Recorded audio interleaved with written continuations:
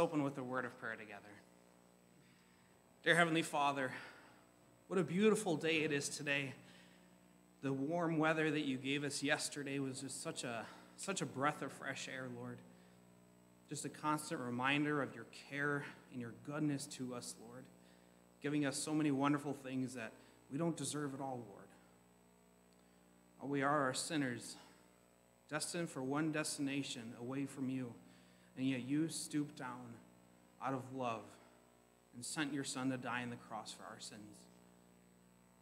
Lord, may we today show our love to you with our songs, with our hearts as we open them up to you, and our ears as we listen to your message from your messenger. May we glorify you with our whole bodies, Lord. And may we be more determined to glorify you with our lives, to show you our love of you through our actions, not just through our words. Lord, may everything that is done today glorify you and please you. In your name I pray. Amen. Thank you. you may be seated. Thank you for bearing with us with the audio on the live stream. I know we're working on some issues trying to get rid of the ringing, so each week we're trying to try trying to do something different to get that taken care of. But I really do appreciate uh, bear, you guys bearing with us with us trying to figure out the audio. I do want to welcome you to our service here at Faith Baptist Church. If this is your first time joining us here in the building or online, thank you so much for being here with us and choosing to worship uh, with us this morning or evening, depending on when it is that you are watching this service. Just a huge thank you, and we hope today you will draw closer to the Lord um, through worshiping uh, Him today with us. There are a couple announcements that I would like to take care of. As you know, there is a huge I shouldn't, I guess you could call it technically as a holiday. I hate using the term holiday, but that is what it is. Um, we have Easter coming up. And uh, as we know, Easter is a huge celebration as we celebrate the resurrection of our Savior. And with that said, we are going to do something special. Uh, the first thing we're going to do is for, we are going to have a Good Friday service here in the building at 2 o'clock p.m. So there will be more details sent out, but there will be a Good Friday service on Good Friday at 2 o'clock p.m. So we hope you are able to join us. There will be more details sent out about um, how you're going to let us know you're coming or whatever so we can properly accommodate you. Uh, so you can join us, or whether it'll be live stream, however it is that you would like to join us. But there will be more details sent out with that. And also, the Easter service, uh, the resurrection service on Sunday, we are going to do something special. Pastor has been working He's, he's put a couple ideas that I've heard, and they all sound pretty exciting. So there is going to be something really special, something you aren't going to want to miss out on. But there will be, we're working on the details, trying to figure out how to coordinate everything. And so uh, there will be more details sent out probably next week. On Sunday, we'll give you more details about how that is going to all work out. But do stay tuned, and there will be something special plan for um, Easter service on Sunday. So please stay tuned, and there will be more details coming up. So, uh, with that said, that does finish all my announcements. Brother Paul's going to come with our next song, and then pastors are going to come with a message. Let's turn to hymn number 393. Number 393. Take my life and let it be.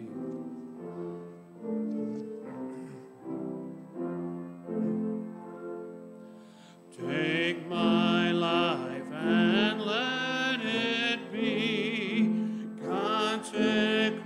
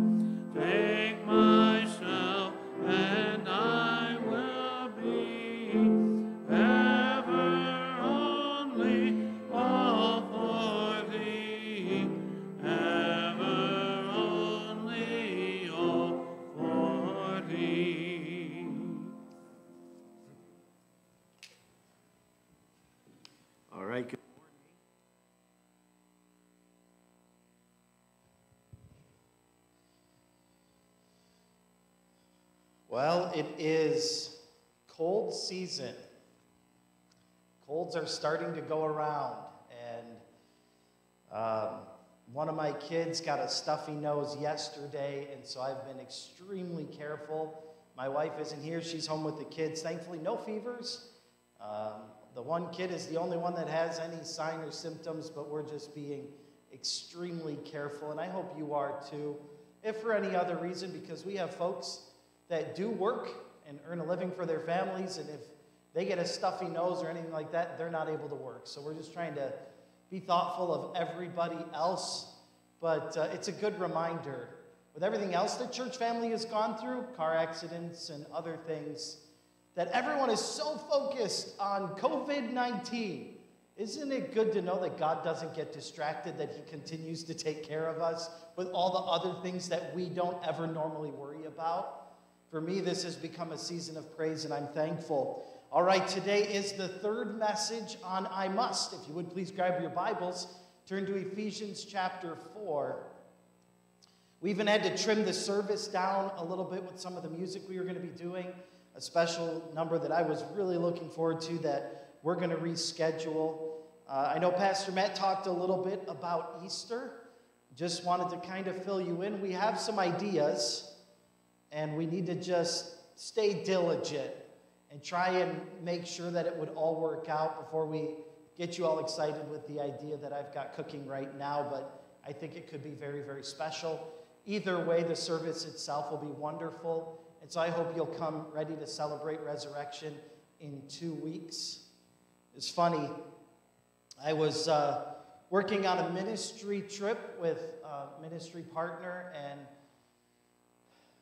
had made all of these plans. We had booked flights and everything for this really quick trip to head over to uh, Bible college, and it was all on Easter. Guys, always check with your wives. Always. I had gotten all these plans together. I'm the master of my calendar. And I told my wife, I said, Well, I'm all set for that trip on the 4th. And she said, The 4th? What? She said, I thought you said it was next Sunday. I was like, Yeah. She goes, That's not next Sunday. I was like, What? She goes, The 4th is Easter, Pastor. It's like, Oh no. So we had to reschedule a bunch of things and clear our Easter schedule. I hope that you'll be excited about the resurrection. It's going to be special this year. Ephesians chapter 4, I must. With your Bible open to Ephesians 4, which is going to be the text we're focusing on, look at chapter 5, verse 15. See then that you walk circumspectly, not as fools, but as wise, redeeming the time, because the days are evil. Let's work backward. Are the days evil? Okay, so if the days are evil, let's work backward. Redeem the time. Well, how do we redeem the time? Look at verse 15 one more time. See then that you walk circumspectly, not as fools, but as wise. What a really great wrap up for the book of Ephesians. Pay attention to everything that I said, knowing that the days are evil. Oh, if only the Apostle Paul were able to live 2,000 years and see what we're dealing with now with technology and a global world like has never been seen before. Some of the odd and weird things that have been happening both with the European Union and with Israel, even this last couple weeks, and just a, a bizarre time, a time when you say the rapture's got to happen at any second. Well, then see that you walk circumspectly, not as fools, but as wise. The first car that I ever owned, and some of you that have I've pastored long enough already know this, was my great grandmother's 1968 Ford Fairlane. When it was given to me by my grandfather, it had about 20,000 miles on it. It had sat in the garage most of its life, and I got it when it was over 30 years old. So the first time that it broke down on me, I automatically assumed that it was the most important components of the car. Had to be the engine or the transmission. And I remember being a couple miles from my parents' place and it was before cell phones, so it was the long walk up and down driveways out in the country until someone was home. And the first family that was home invited me in so I could call my dad. And I told my dad the car broke down, something's wrong. When he got there, he said, What happened? I said, It started to just shake and chug and then died. Dad, I think it's done. I'd only had the car for a few months.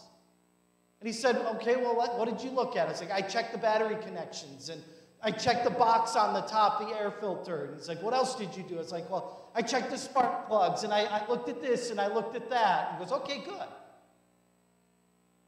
So he goes to the front of the car. Then he climbs inside as though the engine is in the driving compartment, turns on the key. He goes, Well, found your problem. I'm like, Dad, how could you have found the problem already? He said, Son, you ran it out of gas. You can be worried about everything stressful and overwhelming. But if you don't have the fundamentals of the Christian life, you're going to have a lot of problems in these days. Because these aren't normal days, these are dark days. And so, if you're confused about the fundamentals of taking one step at a time, in the dark, you're going to trip and fall. And so, walk circumspectly, not as fools, but as wise. So, we go back one chapter to see what some of these fundamentals are. Chapter 4, verse 17 This I say, therefore, and testify in the Lord that you henceforth walk not as other Gentiles walk in the vanity of their minds, having the understanding darkened, being alienated from the life of God through the ignorance that is in them because of the blindness of their heart. How easy it is for a child of God, saved for years, to look more like the lost than the saved. That's what he's saying. That should dig in. I'm thankful for the rich history of salvation in our church that goes decades beyond our own existence. But know this just because you've been saved for a long time, or your parents were saved, or your grandparents, or your great grandparents doesn't automatically mean that you are walking with the image of Christ. It's a good question. Do you look more like a saint or more like the heathen?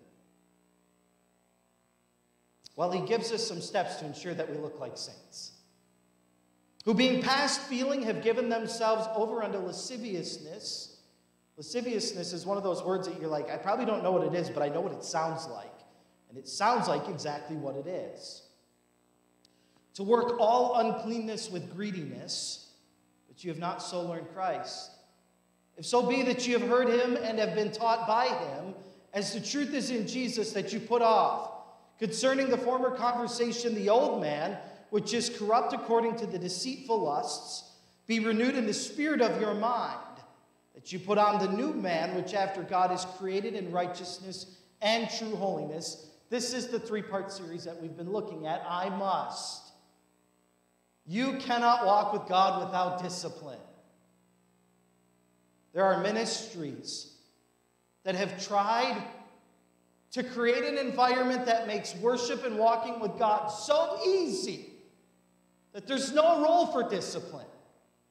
And what happens? No one grows. How much discipline did it take for Jesus to die on the cross?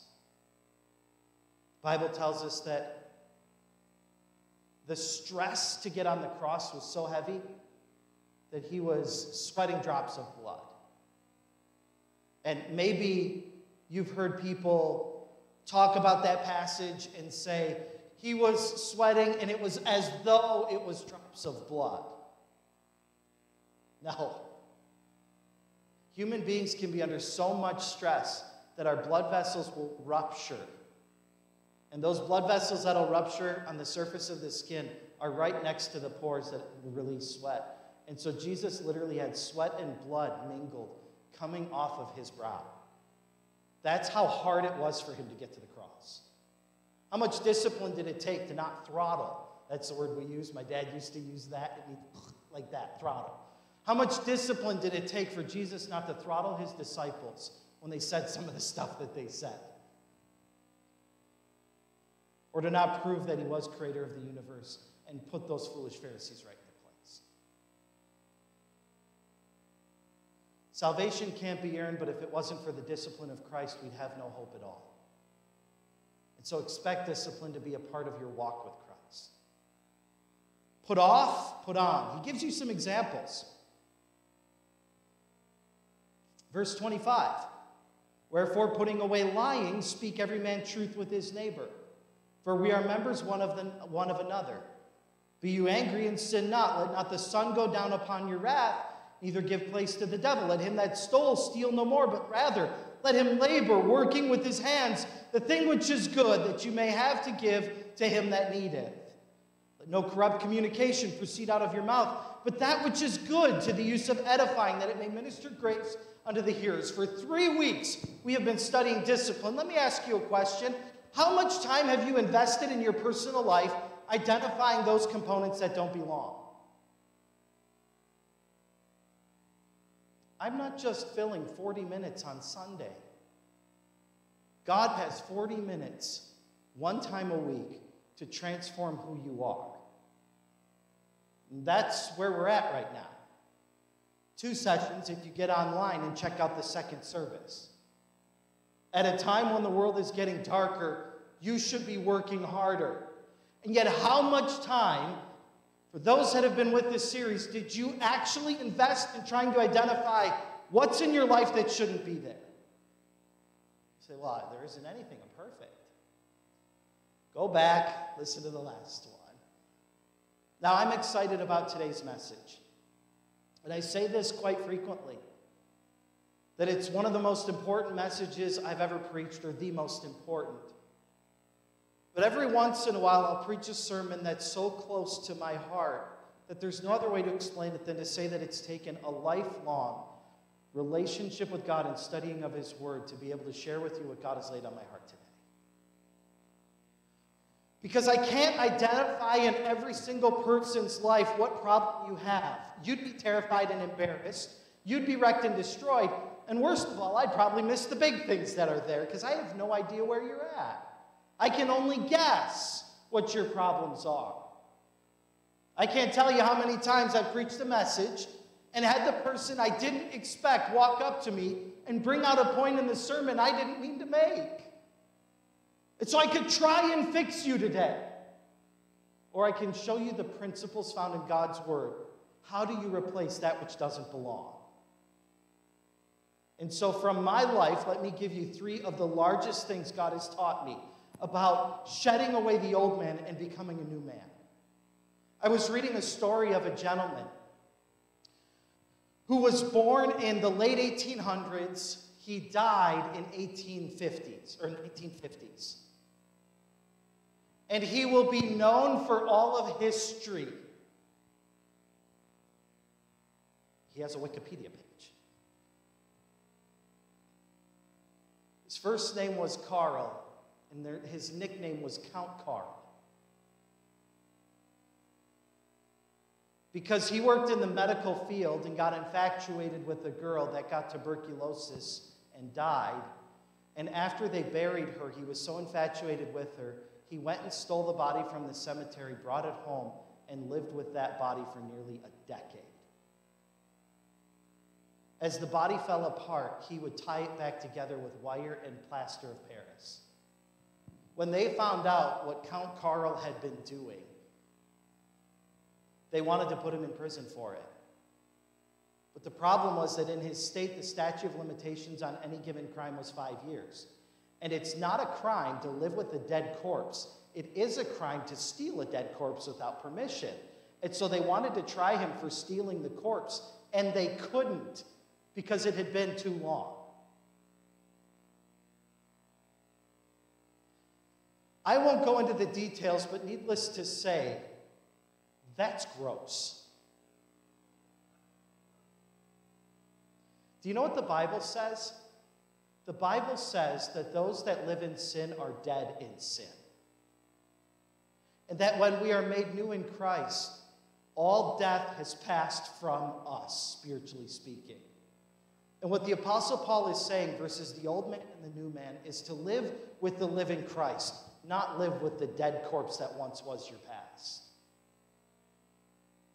I've spent time living with corpses in my life, hanging on to that which doesn't belong as a child of God. So, if you're wondering what the process is, the put off, put on, they're called resolutions. You determine what shouldn't be, and then you create a resolution. It's not going to be that way anymore. And so, I'd like to walk you through Scripture and show you three resolutions as examples because at the end of it, I can't do this for you. You have to get in the Word of God. You need to start begging the Spirit. You need to start identifying, and you need to become a godly person. But let me give you some fundamentals today three resolutions that'll help us discipline ourselves. I must. Resolution number one go to Proverbs chapter 4.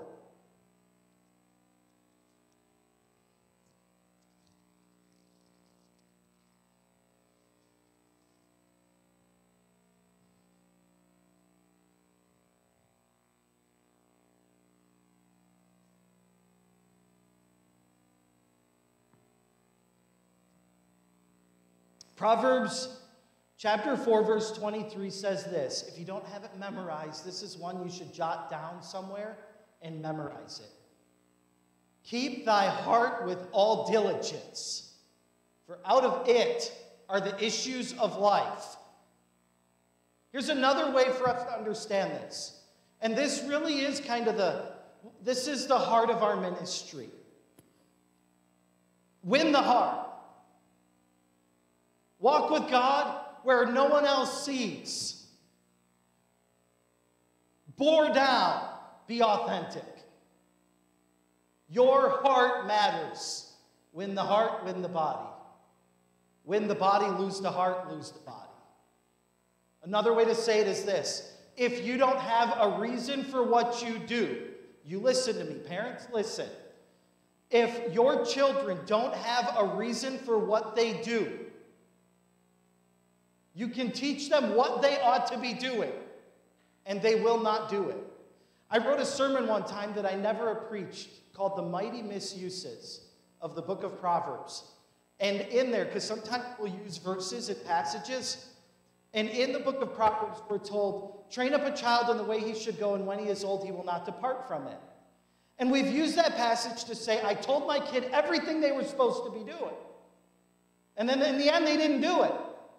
But here's my question Did you tell them why? Because if you don't win their heart, you will lose their body. Because Proverbs 4:23 says, "Keep your heart with all diligence, for out of it are the issues of life." That is to say, teach your child's heart, and your child's heart will keep those things when they're old. Your heart matters. And one of the most important questions we can ask is why? Why did I do that? Why do I do those things? Why did he just say that? Why did she just do that? Resolution number one. Because it's good to go boring down. And you ask why. Parents, have you ever done this? Your kid just disrespects you in ways that would humiliate you in front of any other person. And you know they just did it and you look at each other and you say, Well, he was tired. Have you ever done that before? Well, he's tired. Here's resolution number one. If you can't memorize it, write it down, because this is something that you should live by. Resolution number one in my life, as one that wants to walk with God, number one, my explanations will never be my excuses. Keep your heart with all diligence, for out of it are the issues of life. There is a reason why I'm doing what I'm doing. But you listen. That reason for doing wrong is never more powerful than the reason to do right. That is to say, whatever my experience, opinion, or explanation cannot overpower the fact that God made all things and deserves certain expectations. Right is always right. We are good at making excuses. Maybe you've dealt with sin in your life and you struggled and wrestled with it. And then you found out that that sin was in your parents' life. And then you found out that that same sin that was in your parents' life was also in your great grandparents' life and your grandparents' life. It's always been in everyone's life. It's like the prisoner finding out that his grandfather was a prisoner. Oh, well, then it wasn't really my fault because it's in the blood. Now, is that a reasonable explanation? That is to say, if my great grandfather had a problem with honesty, my grandfather had a problem with honesty, my father had a problem with honesty, and all my brothers had a problem with honesty, then couldn't we pretty much so make the assumption that I would have a problem with honesty? It's still wrong to be dishonest. It only explains, it helps you understand what's going on. One of the greatest ways to figure out what it is that God should be working on you in is to look at your environment and those that have affected you most. If you've got a parent that has a glaring sin in their life, look at yourself. It's not an excuse, it'll only show you what ought to be. It's an explanation. So we go back to the illustration. Lucas is tired. He just mouthed off to his mother. Lucas mouths off, Lucas gets consequences, plain and simple. We were telling him when we were kids, they used to do the old soap in the mouth. Did you ever get that when you were a kid? Said something you shouldn't, soap in the mouth?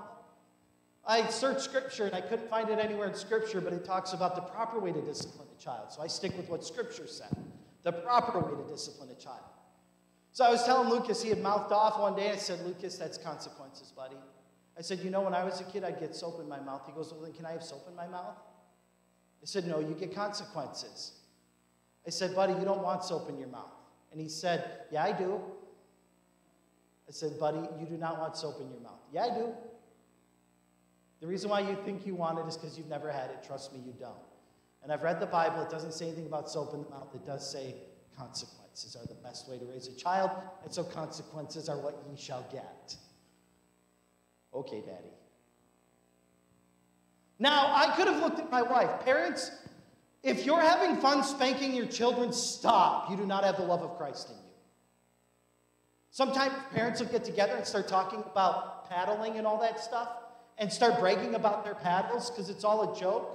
And yet, you know when you go to spank your child or give your child consequences, that it is one of the most heart wrenching things you'll ever do. And it's really easy to turn to the other spouse and say, well, you know, this and this and this, and so I'm not going to give them these consequences. Don't ever let explanations be excuses as a parent. Ever. As hard as it is to give those consequences, there's no excuse for doing wrong. By the way, we've been doing it since the garden. Do you remember when God came to Adam and said, What did you do? well, it really wasn't my fault, it was the woman's fault. There's nothing wrong with an explanation, there is everything wrong with an excuse. Look at Proverbs chapter 24. I'm going to show you this verse.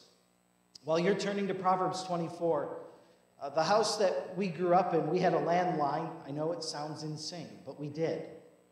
We had a landline, had the signal in the whole nine yards. And the town that we grew up in ran out of four digit numbers. That's how small our town was. It took a while, but eventually they ran out of four digit numbers. Now, I'm not a math guy, but I've, I've got some math people here. How many phone numbers does it take to run out of four digit phone numbers? Is it like 9,999, right? That's, town was over 10,000. And so, in preparation for running out of numbers, the first three numbers, not the area code, but the next three numbers in the town that I grew up in, I'll even give you our old phone number because I remember. I don't know why, but I do. It was 414 673 6514. 673.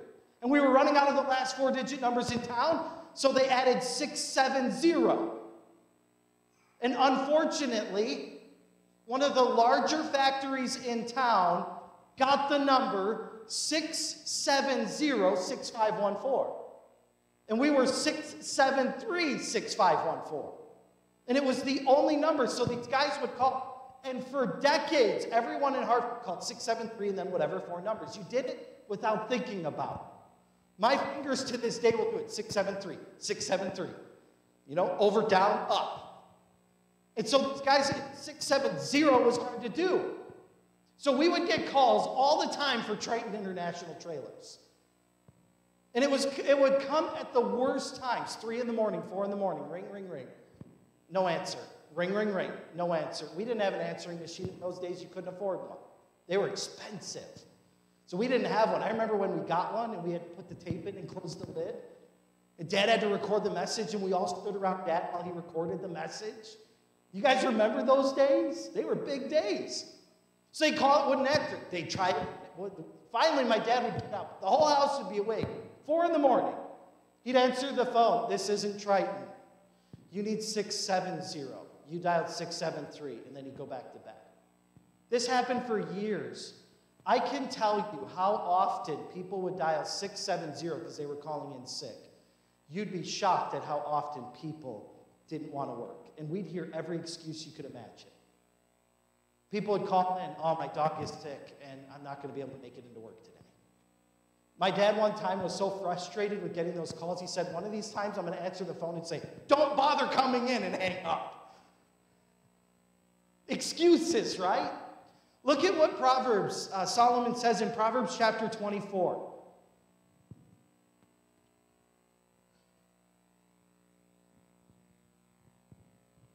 Verse 16 stands alone on its own. For a just man falleth seven times, and he riseth up again, but the wicked shall fall into mischief. Probably one of the worst excuses that we will use is that there's no such thing as victory. That is such a lie, and it's such an excuse. How many times does Solomon say a righteous man will get up off of the same mistake? One guy got it. How many times does Solomon say the righteous will, will stand back up again? Seven times. Hannah, how many times does Solomon say the righteous will stand up again? Brother Ray, how many times does Solomon say the righteous will stand up again? Seven times. Brother Ed, sitting back there managing the video for us today. How many times does Solomon say the righteous will get back up again? You guys got it? How many? Don't forget it. It doesn't matter how many times I've done it, I'm not going to do it anymore because my explanations will not be my excuses. Oh, sure, I've got this habitual sin. It explains a lot in my life. But a habitual sin is never excused, ever. My explanations will not be my excuses. Why? Because rationalization is the birthplace of corruption. The moment I rationalize something, I can expect to have no integrity in my life. You can plan on being corrupt if you want to start justifying things. It's called being a politician. That's why the rules, as frustrating as it is, don't seem to apply to everybody anymore.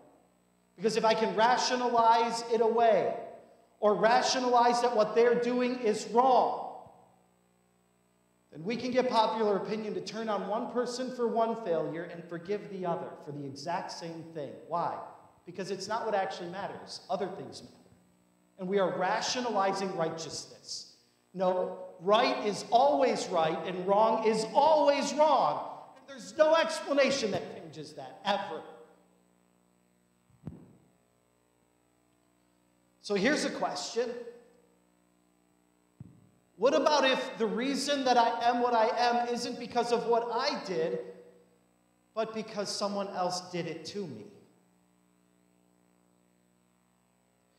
Go to Matthew chapter 18. and I will show you our second resolution.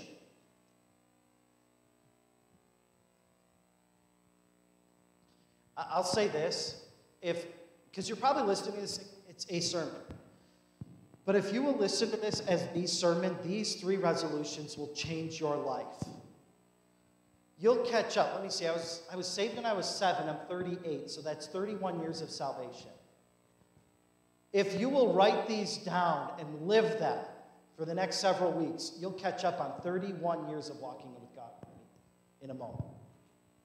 Because it took 31 years of failing to understand what God was trying to teach me with these three resolutions. And anyone that's been saved for a long time can connect with these. Number one, my explanations will never be my excuses, ever. I will do what's right. Will you? Resolution number two moving away from my failures to the failures of others. I find another life changing resolution.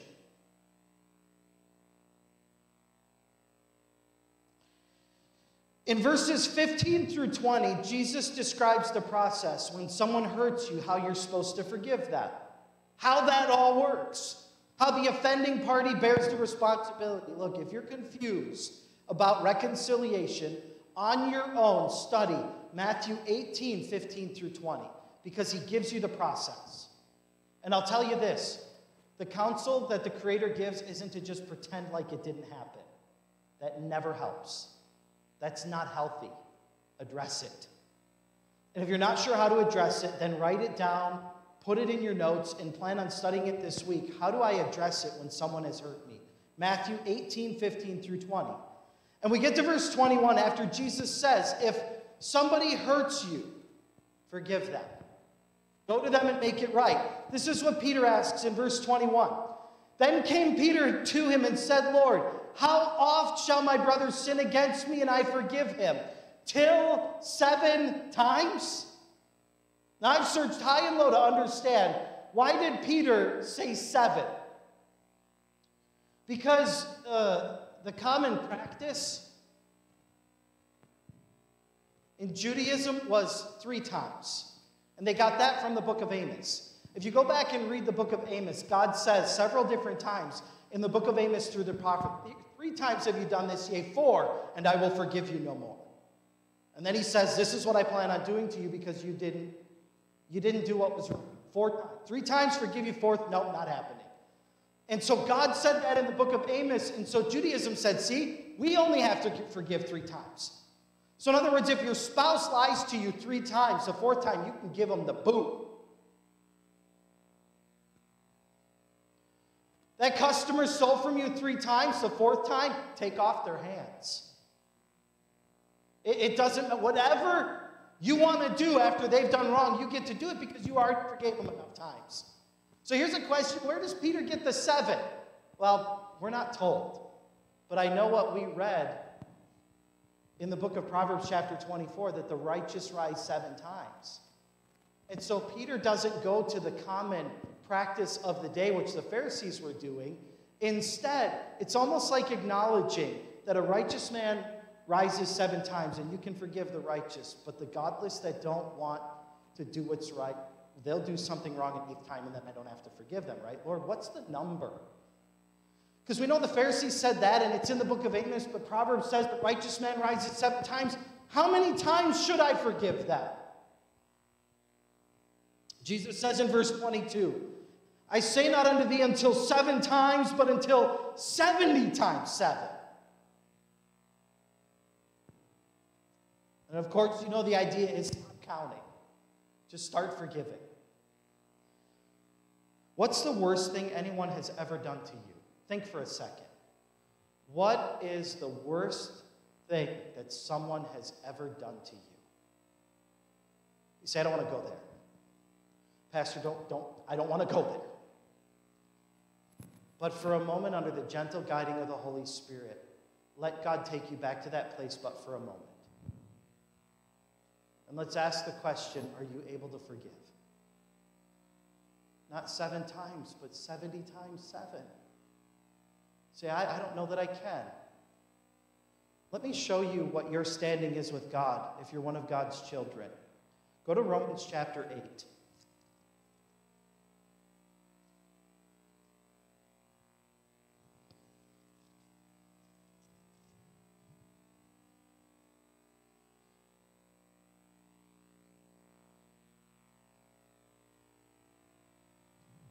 Verse 14.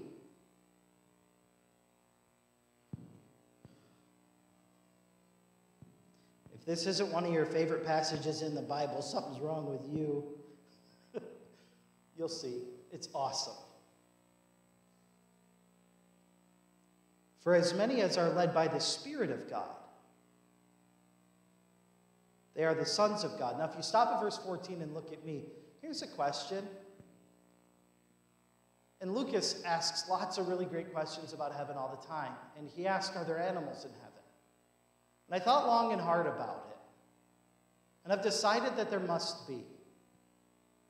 For a couple different reasons. But the biggest being God created them. And when he made all these things, he said, They're good. It's good. It was supposed to be a part of the created order. And so my expectation is that in the new heaven and the new earth, he will make all things new. Maybe we'll even see creatures we've never seen before. But scripture actually talks about angels being in the image of animals. I think in our heads we have this carbon copy cutter image of what an angel is.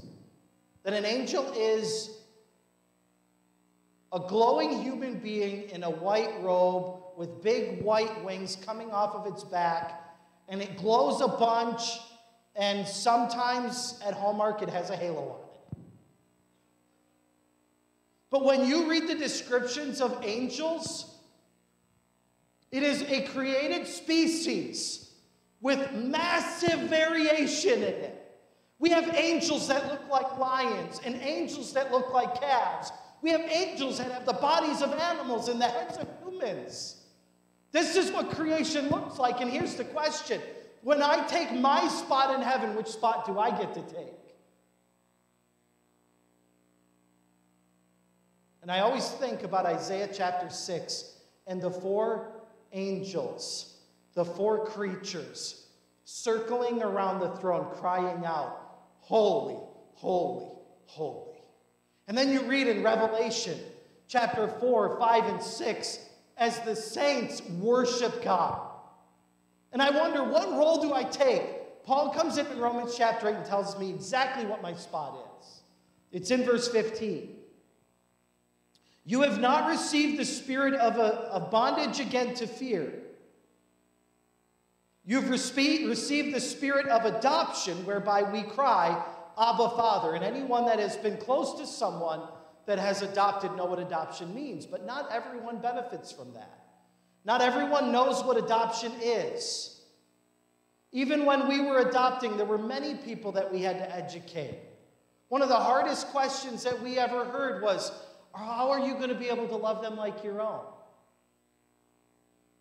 Could you imagine me not being able to love Lucas like Brother Mike loves Josiah? That's his boy. He's my boy. I don't care where he came from. That's my boy. And so there's this spirit of adoption that only those that are close enough to it would know it. And so he goes on and he says, Those that are a part of the spirit of the adoption that, that, that is in the world, and that it is to be a father or a mother adopting a son or a daughter knows this. That's my child. And so we can cry out to God, Abba, Father. Now remember in the Old Testament, the name of God was written in form so that it could not be spoken. But you and I can cry out, Abba, Father, because of Jesus. Did you know that? We all say, no, it isn't. the Old Testament. God's name is Yahweh. No, it's not. It's YHWH. It's not supposed to be spoken. It's supposed to be known that God has a name that we're not worthy to speak of. And Paul comes slicing in and says, No, you've been adopted. You can cry out, Dad, Father. Cry out and call him as though he's close to you and you to him. Familiarity, affection, worthiness. My kids can't understand why, when they're in the nursery, they're not allowed to go into my office. It's dad's office. It's fair game. No, it's not. That's the pastor's office.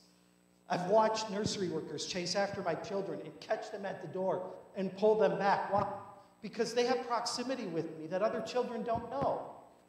I've, I don't know that I've ever seen, maybe a couple of times, maybe, probably Joe Scally's kids would be my guess. No, just kidding with you.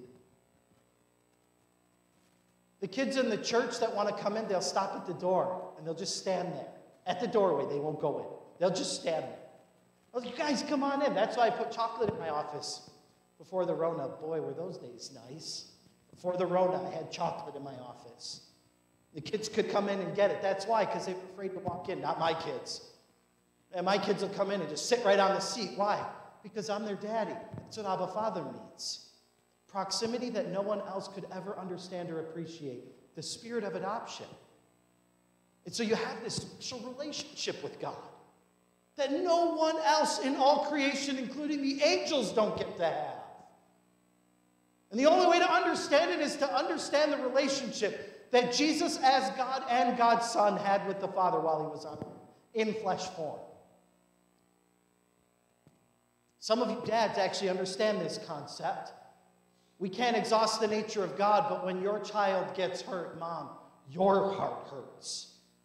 You would rather it have been your own flesh. It's as though the two of you are one. Well, with God, He actually is one. And He's inviting us into that relationship. It's more than we can comprehend, it's a closer than we ever have known. And so Paul goes on to describe this. The Spirit itself beareth witness with our spirit that we are the children of God. So you're listening to this and you're not saying, I think he's overstating it. I don't think I'm that close to God. You know that's what it meant when you asked God to save you. And now you know why, because the Spirit is in you telling you you're that close to God. Yes, yes, yes. Listen to the preacher. He's actually right right now. And you know it. So, what does it mean if we're children of God? Well, verse 17 if children, then heirs, heirs of God. Yes? Every child is an heir to the estate. But usually, in history, the eldest got the largest blessing, especially biblically speaking. The eldest got the largest blessing, and the rest only got a fraction. And so Paul goes on to say, No, no, no, you don't get the leftovers. You're joint heirs with Christ. So, in other words, everything Christ deserves, you deserve. Hebrews chapter 1, verse 2 tells us what God has made Christ the heir of all things. Jesus tells us in John chapter 17 that you're going to inherit my glory. And in 2 Corinthians chapter 8 verse 9 the apostle Paul tells us that we are to inherit the riches of Christ. Glory, riches, honor and everything. Joint heirs of Christ. Go back to Matthew chapter 18. How many times should I forgive?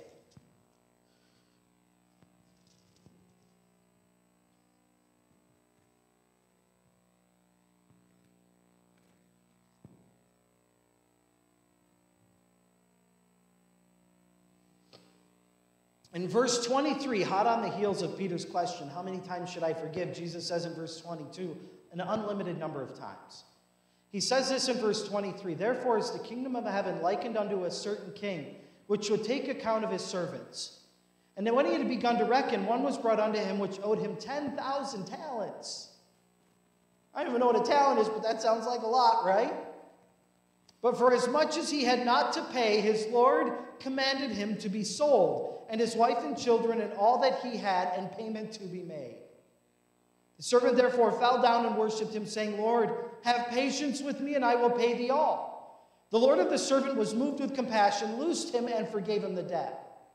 But the same servant went out and found one of his fellow servants, which owed him a hundred pence. And he laid hands on him, and he took him by the throat, saying, Pay me that thou owest. And his fellow servant fell down at his feet and besought him, saying, Have patience with me, and I will pay thee all. And he would not. But he went and cast him into prison till he should pay the debt. So when his fellow servants saw what was done, they were very sorry. They came and told unto their Lord all that was done. And his Lord, that had called him, said unto him, O thou wicked servant, I forgave thee all thy debt because thou desirest me. Shouldest not thou also have had compassion on thy fellow servant as I had pity on thee? And his Lord was wroth, and he delivered him to the tormentors till he should pay all that was due unto him. So likewise shall my heavenly Father do also unto you, if from your hearts forgive not every one his brother their trespasses. Number two, as an heir, I will not be a debt collector. As an heir of Christ, I will not be a debt collector. There is no room for bitterness in the heart of God's child, ever. Because there's no possible way, no matter what was done to you, could ever be as bad as what you did to Jesus on the cross. And people can do horrible things. But we tormented the sinless flesh of God with our corruption.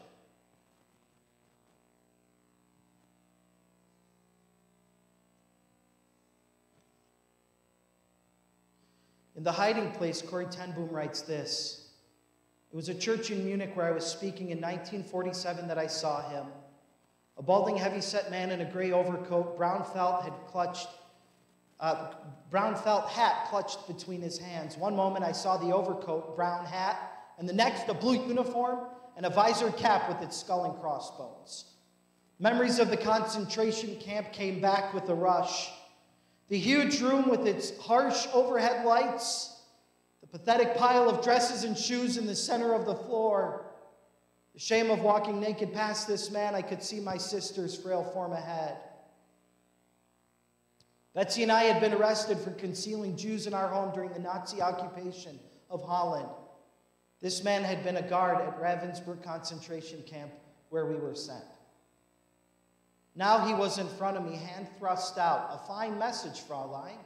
How good it is to know that, as you say, all our sins are at the bottom of the sea. It was the first time since my release that I had been face to face with one of my captors, and my blood seemed to freeze. You mentioned Ravensburg, uh, Ravensbrück in your, in your talk, he was saying. I was a guard there. But since that time, he went on, I've become a Christian. I know that God has forgiven me for the cruel things I did there, but I'd like to hear it from your lips as well. Fraulein, again the hand came out. Will you forgive me? And I stood there and could not.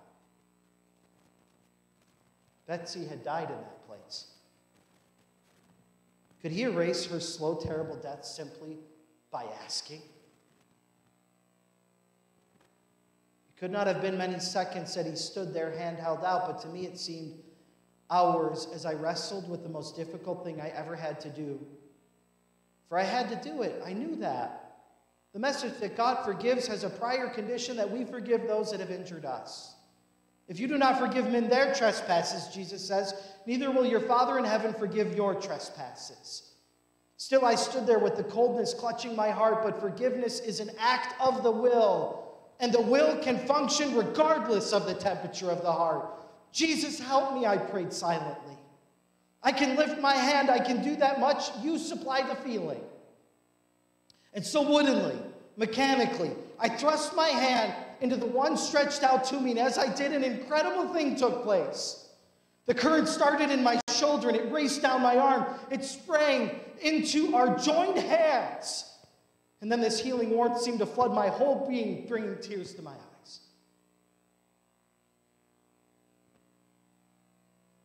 I forgive you, brother, I cried with all my heart. For a long moment, we grasped each other's hands. The former guard and former prisoner. I had never known God's love so intensely as I did then. Corrie ten Boom, the hiding place.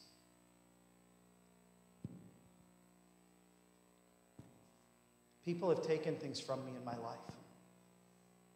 But no one will ever be able to take away as much as God has given me when Jesus died for me. You can take away my dignity. You can take away my name. You can take away my reputation. You can take away my wealth. You can take away my ignorance. Take away my family. But you cannot touch Christ in my life. Because I don't have him because I earned him. I have him because he forgave me. And I forgive you. I will not, as an heir, be a debt collector. The first two resolutions come heavy and hard, and they take a lot of time. The last one is simple. Go to Psalm 119, and I'll give you the final resolution, and we'll be done.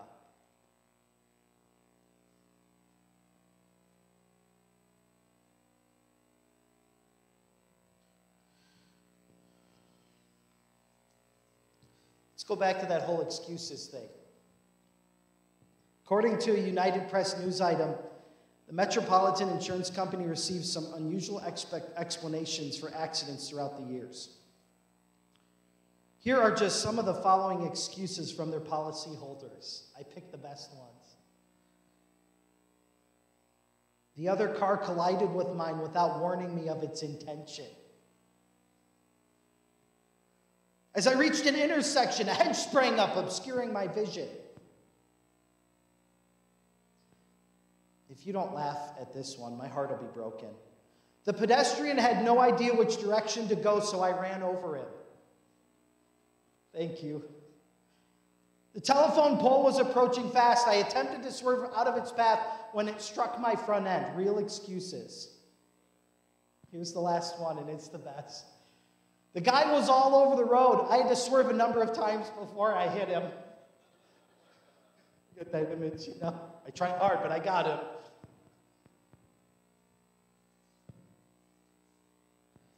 There's lots of reasons why you're sloppy in your walk with Christ. But there is a single solution.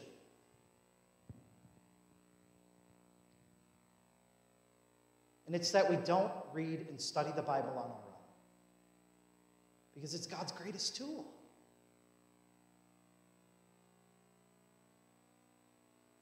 Resolution number three I don't know will not be my I don't care. I don't know will not be my I don't care. I'll explain myself in just a second, but look at Psalm 119, verse 11. Thy word have I hid in my heart that I might not sin against thee. Verse 89. I'm just going to give you three. By the way, Psalm 119 goes through the entire Hebrew alphabet talking about the importance of the Bible. And I'm giving you just a taste. Verse 89 Forever, O Lord, thy word is settled in heaven. You know what that means? The Bible was as good when it was written as it is today. Settled in heaven forever. You know, at one point in American history, they attached leeches to people to make them better because they thought if you suck the blood out of them, then they won't get sick and die. Aren't you glad that's not relevant information anymore? I hate leeches. I'd rather die. Did you know that I have never found anything in God's Word that isn't relevant to my life ever? And to the message of the gospel? Written over a span of 5,000 years. 4,000 years, sorry. And it's as relevant today as it was when it was written. Forever, O Lord, thy word is settled in heaven. One more, verse, 10, uh, verse number 105. Thy word is a lamp unto my feet and a light to my path. I've sworn and I will perform it that I will keep thy righteous judgment. This book is awesome. I was in court one time to address a traffic fine that I had incurred. I don't even remember what it was for, but I'm sure I deserved it. Whatever it was, I remember it wasn't speeding because as I sat there listening to people with their excuses for speeding, all I could think was, man, am I glad I'm not sitting here because of speeding? There's just really no good excuse. My, my foot got numb and it got heavy and I didn't realize I was going that fast. There's like, there's just no, if they get you speeding, you're done. This young man steps up at varying degrees of appearing before a judge. Can I give you a little insider information? If you want the judge to look favorably on you, show him some respect in what you dress. This kid steps up in, in t shirt, necklace on, jeans halfway down because it's just too hard to keep them up where they belong, a pair of tennis shoes, and he stands in front of the judge like, I just don't care. Until the judge opened his mouth, and then he kind of straightened up, like, oh man he's doing the talking. It was like all of a sudden this kid realized, I don't think I'm in charge here with my attitude. And the judge begins to ask him questions. Were you the operator of the vehicle? Uh, yeah, I was. Yes. Yes, I was. Thank you. Do you own that vehicle? Yeah. Yes. Yes. Thank you. Was anyone else in the car with you? Yeah. Uh, yes. I had some friends in the back. Okay. And was it on this day to the best of your memory? Uh, yes, I believe it was. Then he turns to the police officer and says, Is this the road that you were on? He goes, Yes, it was. He turns to the kid, he goes, Now correct me if I'm wrong. Isn't that a gravel road? Yeah, I mean, yes. It is. He said, What's the speed limit on that road? He goes, I don't know. He said there isn't a, there isn't a speed limit sign, so there isn't a limit. And the judge says, Well, it says here that you were doing 75. Now, I know this officer pretty well. He's a gracious guy. My guess is he was doing more than 75, wasn't he? And the officer said he was doing 79, sir. And I'm thinking, On a gravel road? Are you nuts?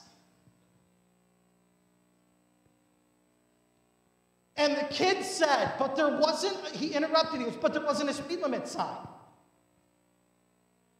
And so there was this discussion with this kid. If it's unposted, there's still a speed limit in the state of Michigan. And he said, Well, I didn't know that. Hey, catch this. This is what the judge said. And I'd never seen it in living motion until then. He said, Ignorance is not a defense when it comes to the law.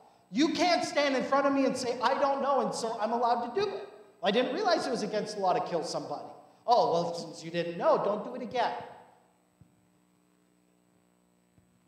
And I'm thinking, who in their right mind would justify 75 miles an hour on a gravel road because there's no speed limit sign? Excuse me, 79. How foolish man will be with their excuses.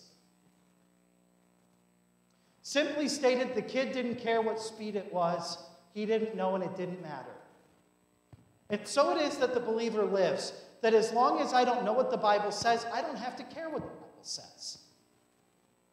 But these are evil days, and you can't afford to be ignorant. And so you know what you need to do? Study. Let me ask you a question. Do you think that it's more evil today than it was for your parents? I do. Do you think it's more evil for your parents than it was for your grandparents? I was talking to somebody in their 80s, and they said, I feel really bad for your generation. We grew up in the 50s, and it was the greatest time to be alive. I wish I could say that. I grew up in the 90s. It was horrendous. I couldn't imagine growing up in the 2010s, and I pray for the kids that have to grow up in the 2020s. You can't afford to not study this book. Get in it every day. My I don't know cannot be my I don't care. My I don't know will become my I better get into. And let this become your resolution. Replace your complacency with urgency. Replace your bitterness with forgiveness. And you replace your excuses with righteousness. Shed off the dead corpse and walk as a new creature in Christ. Here are but three resolutions that will absolutely change your life. Father, as we go to prayer, Lord, I will, I will acknowledge that this concept of discipline is, is a lifelong pursuit. That if we'll dig into your word and study it, we'll be amazed at the blemishes that you will show us that are in us that we didn't even see. But here are some obvious ones.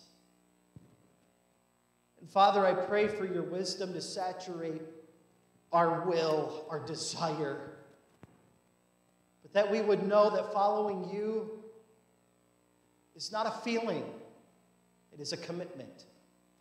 And I pray that we would make that today. As we go into the invitation with heads bowed and eyes closed, how has God worked in your heart today? Let's work backward. Are you lazy when it comes to the Bible? I will tell you, you can't afford to be. Way too many people have opinions of the kingdom but don't read the Bible. If you don't read God's word, get rid of your opinion and start studying because you just don't know. Because you don't know, you have lived like you don't care. That's enough. You will answer for everything that is written in this book because you won't be able to stand in front of the master and say, well, I didn't have the book and I didn't have the resources. Every man will give an answer for the things that they have done. Get in the book. Tell God today you will. Apologize that you've neglected the greatest masterpiece of literature that's ever been written. God's love letter to you.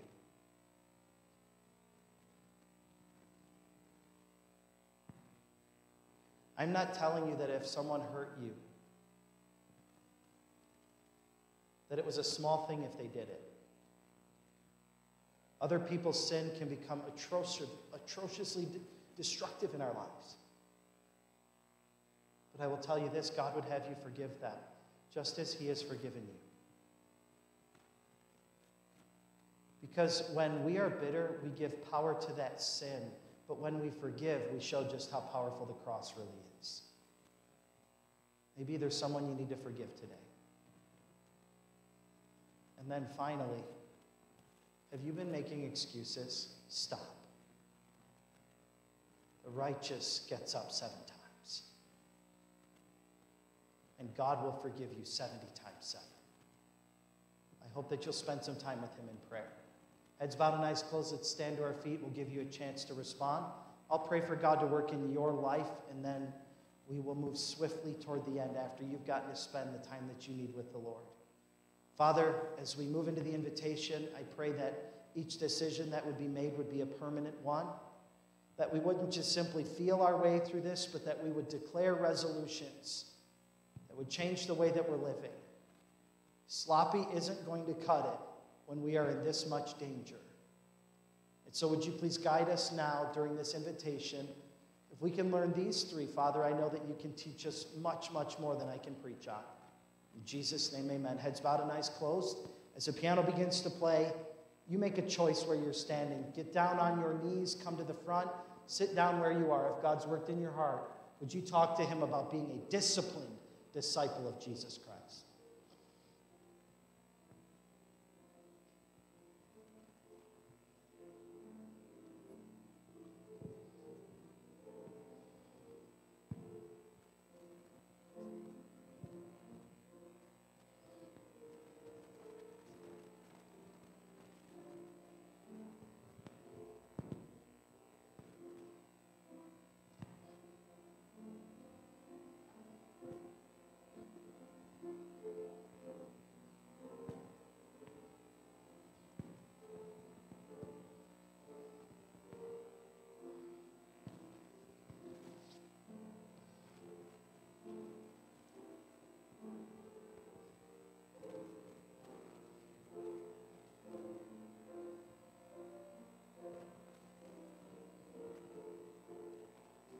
Father, thank you for the time that we have gotten to worship together. For the servants that are in the building and the ones that are watching online, unify us through the message and the gospel that Jesus died because he chose to love us, and we walk with you because we choose to love you. Lord, I pray that you would convict us deeply in the areas where we are sloppy, in the areas, God, that you know that no one else does. Create an urgency and a discomfort in our heart that would demand a change. For Lord, you could return today. May you find us faithful. In Jesus' name, amen. Thank you for your good attention today. You all listened very well. You put in a hard morning of work, and I have overran the time. And so it'd be a huge help to us. It's, it's my fault, but it'd be a huge help to us if you would help us by clearing the building somewhat quickly today. We can get ready for the next group that's coming in. I know that's not the way we normally do it, but thank you, and I'm going to go ahead and slip out right away. You are dismissed.